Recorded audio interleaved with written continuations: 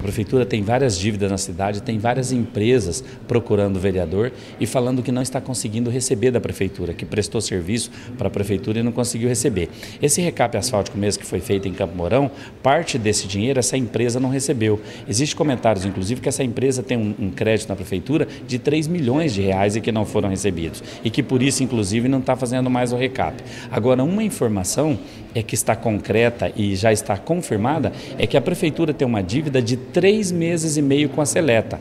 Nesta quarta-feira, está completando três meses e meio que a Prefeitura não paga a Seleta. A Seleta é a empresa que varre as ruas de Camorão e que coleta o lixo em frente às nossas casas. São dois milhões e meio de reais que a Prefeitura deve para a Seleta. Nesse mês de agosto, essa empresa já não conseguiu fazer o vale corretamente para os servidores. Aí os funcionários chamaram alguns vereadores até a Seleta, as pessoas que varrem rua, juntamente com o sindicato deles, que é de Maringá, e nos denunciaram, falaram: olha, não estão pagando a empresa e se não pagar, nós vamos parar. Os servidores falaram isso, os funcionários falaram isso para nós vereadores. Ou seja, se a prefeitura não pagar a seleta até o quinto dia útil agora do mês de setembro, no dia, de mês de outubro, no dia 7 de outubro, vai parar em Campo Mourão o trabalho da seleta. Nós não teremos coleta de lixo, nós não teremos varrições de rua e nós teremos cargos de confiança sobrando no gabinete. Isso não é justo.